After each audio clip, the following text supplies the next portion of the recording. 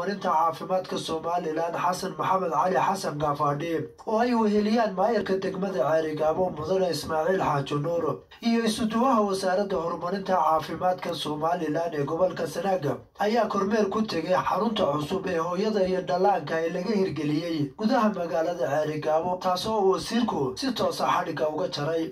Haddana halkan waxaan xadhigga kaga jarnay oo aan doonay hadda xadhigga furnay oo aan muddaha furnay m c h ka cusub ee laga hirgeliyey magaalada ceerigaabo ee loo bixiyey edme marka waxaan rajeynayaa horumar soo kordhay midaan wasiir hore ceerigaabo waxaa dhexdeeda uga jiray laba m c h oo hore. Kana wuxuu noqonayaa kii saddexaad.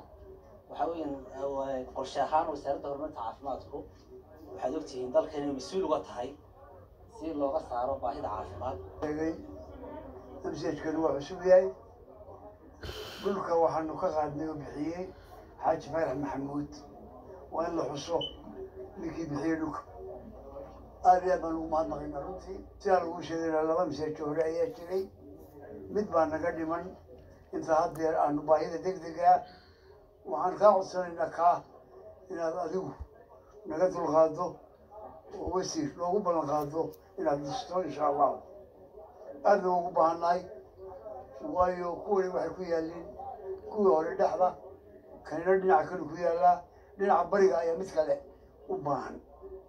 Kaana way wasiir waa kaa codsanaynaa tallaabo kale hore loo qaaday.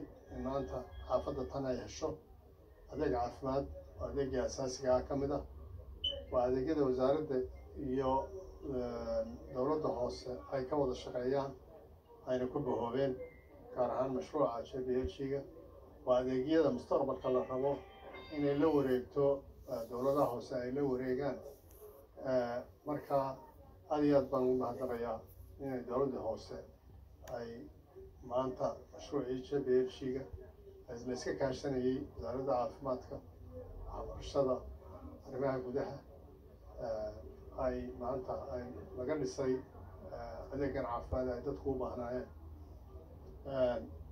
Guddoomiye kaa dambena waxyaabaha ugu horreeya ee naga soo baxa baanu insha allahu tacaala ku dadaalaynaa waxaan kaloo idinku wargelinayaa xarunta caafimaadka ee cusube celifeyn iyo tagaacid labadaba qalabkoodii aanu heshiis kula gallay qolyo australiana oo reer australia ahi iyaguna inay imanayaan oo ay ina soo gaadhayaan dhowaan labada xarumoodna iyaguna waxay ku soo biirayaan xarumaheena hore ayay ku soo biirayaan waa cabdirasaaq xaaji baahinta qaranka somalilan